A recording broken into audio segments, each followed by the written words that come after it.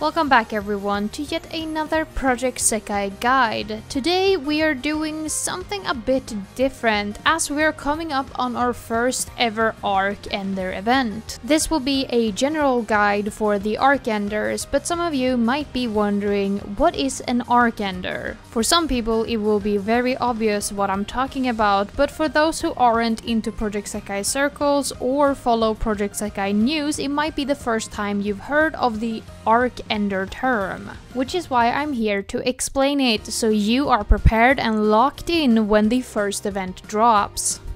Arc Ender event, as the name implies, is the event that concludes the currently running story arc for each one of the five focused units of Project Sekai. This is a cumulation of the year 2 stories for each of the units, as the Arc Ender event will bring a pivot point that changes the trajectory of the unit story going forward as we move into the third year of Project Sekai called Brand New World. We will get one Arc Ender event per unit, excluding virtual singers that will lead up to the third anniversary Hello Good Day. The first unit up is More More Jump with the event Step by Step that will run from June 20th to June 28th. This is followed by Nightcord 25 with the event Saying Goodbye to My Masked Self that will run from July 11th to July 19th. After that we have Leo/need with the event connected by our stellar song that will run from July 21st to July 29th. This is then followed by Vivid BAD SQUAD with the event On Your Feet that will run from August 10th to August 19th. And finally, we have Wonderland Showtime with the event Our Happy Ending that will run from August 21st to August 29th. The events will be quite densely packed, so it's good to be prepared for each one of these events as they do have something special to make them be worthy of the name Arc Ender. The gameplay of the Arc Ender events will be the same as any standard permanent marathon event. As with any unit event, you build your team of 5 characters of the correct attribute that matches the event. These include the original four characters for the unit and all virtual singers sharing the unit tag with the correct attribute. You then play standard lobbies that you would see during any marathon event where you're able to pick whichever song you want to play and you gain event points and event tokens as you play.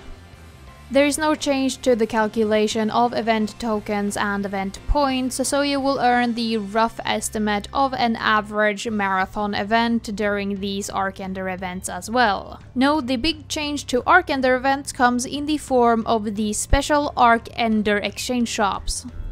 In the exchange shop, a few items will be replaced with new Arc Ender exclusive rewards instead. The reward goes as follows. The five small cans that are in the original event shop is replaced with three large cans that comes in the form of a single purchase that cost 5000 tokens.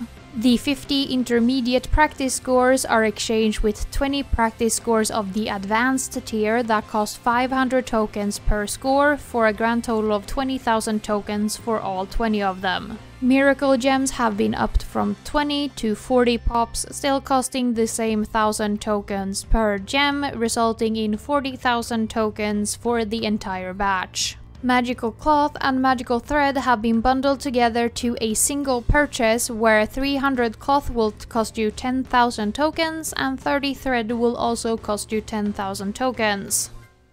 The Miracle Seeds have also been bundled together to a single purchase, and the original amount have been upped from 10 to 30, costing 15,000 tokens in total. The 8 silver skill up scores have been replaced with 2 golden skill up scores instead, and these cost 20,000 tokens each, resulting in 40,000 tokens in total. The 100,000 gold has been replaced with 50,000 gold that you can buy 6 times. 50,000 golds will cost you 5,000 tokens each, resulting in a price of 30,000 tokens for 300,000 gold. Meanwhile, charms and gems have been completely removed from the exchange shop, with 2 star cards, 3 star cards, crystals, song vouchers, stamp vouchers, wish pieces, cover cards, and wish drops staying the same as they do in a standard marathon exchange shop. The prices in this shop is much higher, but the rewards are also a bit more meaty and on average the shop is actually cheaper than it would have been during a standard event. But because of the very expensive prices for each of the items in the shop, you do have to plan your token spending a bit more thoroughly for an Arc Ender event. But you might be wondering, what should I actually pick up? What's better in the Arc Ender shop and what is worth my token and playtime. And while there isn't a definitive answer what you should or should not pick up, we can make a generalized list of what's usually worth to pick in any scenario. Of course, I want to preface that this list won't be accurate for everyone, as the focus of your event exchange shop purchases should always depend on your account state. Some people are in the late game and some people are in the early game and these players will have vastly different requirements for what they should actually be getting. But not even every single late game player has the same struggle as another late game player and you should always make assessment depending on your account state on what you should actually purchase. But the generalized pick list is still a great way to start thinking about what you actually need. The first thing anyone should pick up no matter the player state is firstly the 3 star card, followed by the 2-star card, and then the free crystals. None of these three items have changed for the Arc Ender shop, retaining their original value and their original pricing. And the reason you should pick up these three items, no matter your game status, be a new player, an old player, or a mid-game player, is because cards are valuable. Cards are important for event building, and each card you pick up through the exchange shop is a card that did not cost crystals as you didn't have to get it through the standard gacha. Cards are also important for things such as challenge shows that gives gems and wish pieces.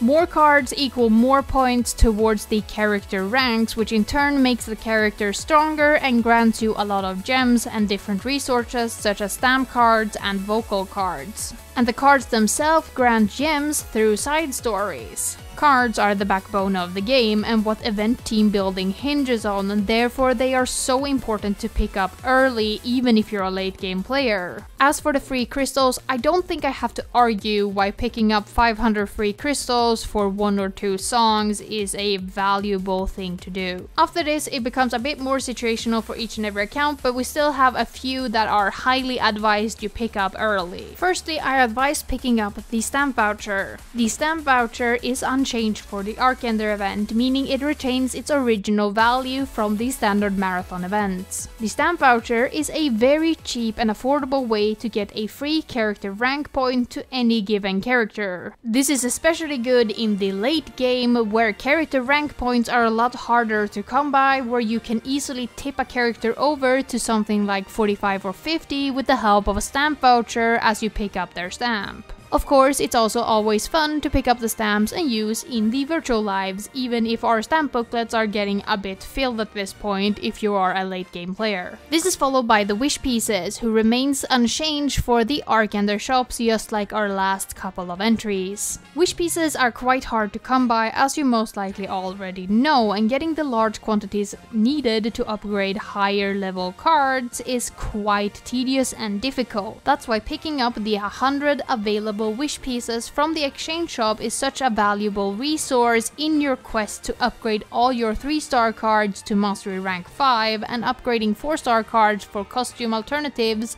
and event bonus. After this we get into the items that are a lot more dependent on your account state. As for mid to late game players, I highly advise picking up the seeds. The seeds are already a super important purchase through marathon and cheerful carnival events for mid to late game players. And in the Arc Ender shop, the amount of seeds you get is tripled for only 5000 tokens more, meaning that it's highly advised you pick it up as soon as possible. And this is of course course because seeds is a ultra rare resource needed in droves to upgrade your plants and your trees to mastery rank 10 or 15. For newer players and beginner players who aren't yet deep enough into the game to buy a lot of plants and trees, you might still consider picking up the seeds as you are going to need an insane amount to upgrade your trees and plants when you get there. For newer players, I do suggest going for the miracle gems if you do do not want to go into the Miracle Seeds just yet. Miracle Seeds have gotten its quantity up for the Arc Ender shop but retains its original price. This means that there's more stock available but it will cost you the same as it would during a normal marathon event, meaning that you will have to spend 40,000 tokens to get all 200 Miracle Gems. But like I said, Miracle Gems are used for an insane amount of things, such as getting your 3 star and 4 star car unlocked to their trained state and also unlocking all side story 2 for 3 star cards and 4 star cards. And unlocking side stories and getting your cards to the practice state is quite expensive, meaning that you need a lot of miracle gems the more cards you get. After miracle seeds and miracle gems, I would suggest that everyone, new players, old players or mid-game players, pick up the gold. Gold retains its original pricing from a standard marathon event, but there is more of it and it's broken up into a new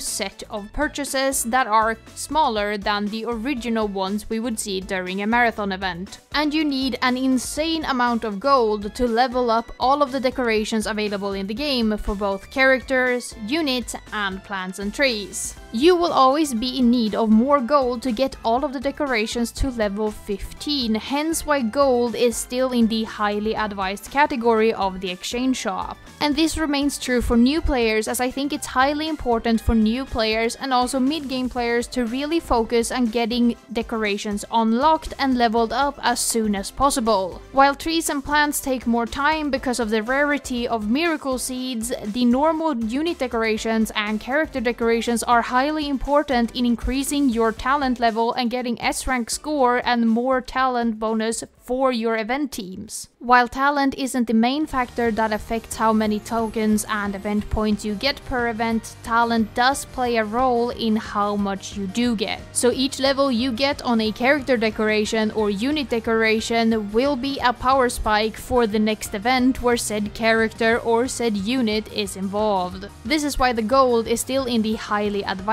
category, but still a little bit lower on the list as the other items are usually more important or more in dire need of getting since you do get gold from each and every song you play. After the gold we get to the items that are a lot more situational where you really have to start looking at what you currently need for your account before you make a choice in what order you should pick up these items. Highest on the list in my opinion is the music vouchers when it comes to the situational items. If you're starting to run out of music vouchers, it might be time to pick some up from the exchange shop to make sure that you can get every single song that releases in the music shop. Of course, if you're like me and you have 550 of them, they might not be as high of a priority to keep up with for the time being. And music vouchers are completely unchanged for the Arc Ender shop, meaning that they retain their original positioning as a situational item from marathon events. The next situational item I would pick up is for late game players only and it is the wish drops. If you're currently planning on breaking open a character, unit, or plant decoration from level 10 to 11, I highly suggest that you look into getting the 3 wish drops available from the exchange shop. Why they are so situational though and why I'm saying they are only really needed for late game players is because of their price. Wish drops cost 50,000 tokens each and this is unchanged between marathon events and Arc Ender events and there are 3 available in the shop. To break open a character decoration you need 5 of them. And to break open unit decorations and the plans, you need 15 of them to get a single tree plant or unit decoration to level 11. The wish drops are absurdly expensive when it comes to the exchange rate, and they are only for late game players who are currently looking into breaking open an item. If you're not currently in need of the wish drops and you are not looking to break open an item in the near future, you should avoid these at the moment. Get everything else in the shop first before picking up the wish drops if you're not currently looking into breaking open an item. The third situational item in my opinion is the skill scores which are also more lenient towards mid-game players and late-game players first and foremost, but are certainly valuable also for the early game players. For the Arc Ender event, the 8 silver scores have been replaced by 2 gold scores. These 2 gold scores cost 20,000 tokens each, which is quite a pricey purchase to do, but in buying both of them you get 100 more experience for the exact same price you would during a marathon event while picking up all 8 of the silver scores. This means that you are getting a better deal, but the skill scores are still situational items because of their steep price and their limited usage. The gold scores are perfect to get your 3 star characters to talent level 4 or saving them to get your 4 star characters from talent level 1 to talent level 2. But if you've already gotten all of your 3 star characters to skill level 4 and you have a lot of 4 stars at skill level 2, you might not find as much value in these scorecards. So the skill up scores are quite situational because of their steep price, which makes it hard for early game players or even mid game players to pick them up comfortably, while late game players might not see as much use out of them since they might already have upgraded most of their 3 star cards and 4 star cards to a higher skill level. The last item in the situational category is the practice scores, which I more highly advise early game player and mid game players pick up rather than late game players. The intermediate practice scores we see during normal marathon events are exchanged for the advanced variety, but the conversion rate is still the same between the two different items. During the Arc Ender, you pay 10,000 tokens for 20 advanced practice scores, which will give you 1 million card experience. While during a standard event, you will pay 5,000 tokens for 50 intermediate practice scores, which will result in 500,000 card experience. Why the practice scores are more of a situational item for early game and mid game players is because late game players usually have all of their cards leveled up to the max level already and have a lot of practice scores sitting waiting for new cards they might pull. Of course, if you're a late game player that is running low on resources, you can always pick these up to make it easier to level up your card, as it's always nice to be able to level up every single card you get as soon as possible to break open side story 2 or be able to use them in future events. But the practice scores are definitely lower priority for a late game player when they can pick up things such as wish drops, miracle seeds, and skill up scores against an early game player who might be struggling with leveling up their cards and getting together good teams. But this is where we once again come to that situational aspect of this category. You have to look at your own account and see what is most valuable to you, as not every player struggles with the same thing or have the same situation. And this leaves us with the items I would consider luxury items or items you should pick up once you've picked up everything else.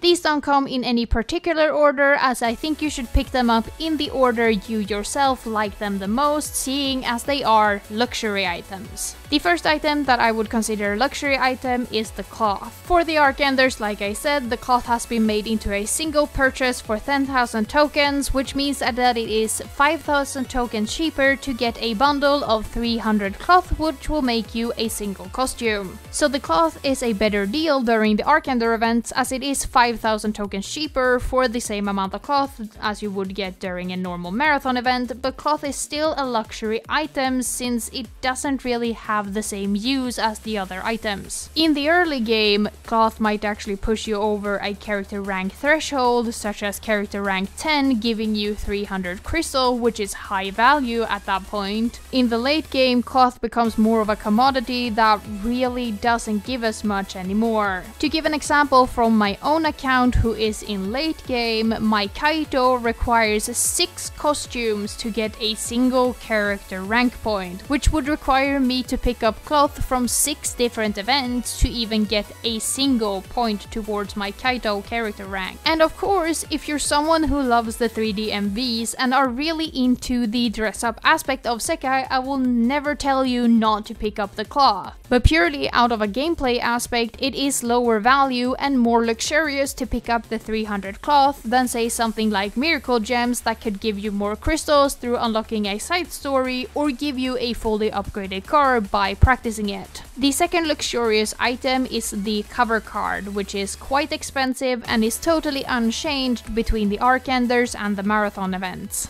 The cover cards as always cost 30,000 tokens, which is quite expensive for a single character rank point. Hence, you shouldn't really pick up the cover cards if you aren't actually interested in getting one of the covers available for that unit, since the Arc and Ender events are all unit focused. If you're really interested in getting, say, Shiho's Stella cover, then I think you should definitely go for the cover card, because the cover card is an easy way to unlock Shiho's Stella cover. But if you aren't really into the band or the covers, or you already own all of the covers that you really want, you can definitely skip the cover card and get more of the other items available in the shop. Our final luxury item is the large energy drink, and this is because the large energy drink is much more expensive than the small energy drinks we see during standard marathon events. You get 3 large energy drinks for a single purchase of 5000 tokens, which will refill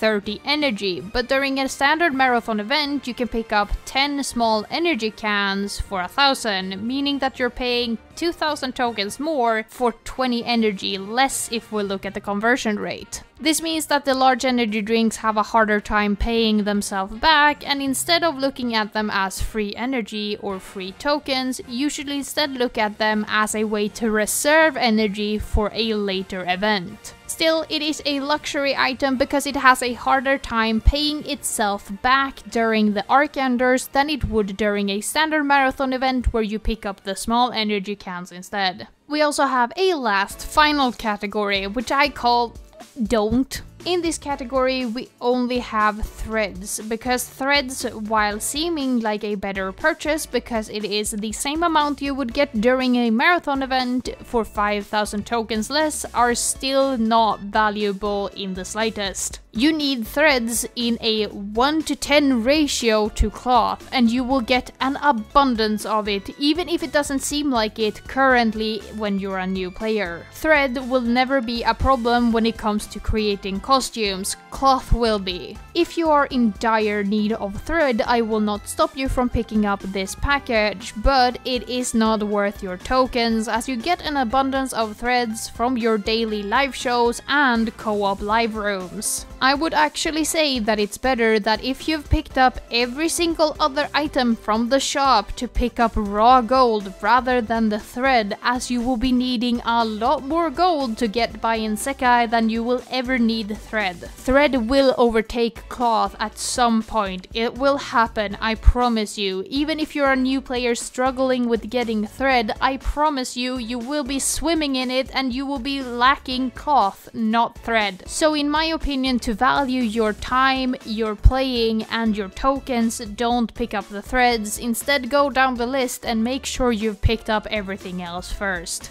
But that is the full list of what you should pick up of the Arc Ender shop and in what order you should do so. Once again, this is just a generalization and you should not follow this blindly. Instead, you should look at your current account state and what you actually need. This list is to help you if you feel unsure in what order you should pick up items and what is actually important. But still, the most important thing in the long run is how your account account looks at the moment. Though I will say that I will not change my mind that you should always pick up the 2 star, the 3 star, and the crystals the first thing you do, as those are the most integral part of any marathon and limited event shop. And the most important thing in Project Sekai is that you have fun. So if you wanna go for the cloth first because you love watching 3D MVs, I would never stop you from doing so, as it is your account and your experience, and this list is more so to get value on each of the items and in what order you should pick them up if you wanna be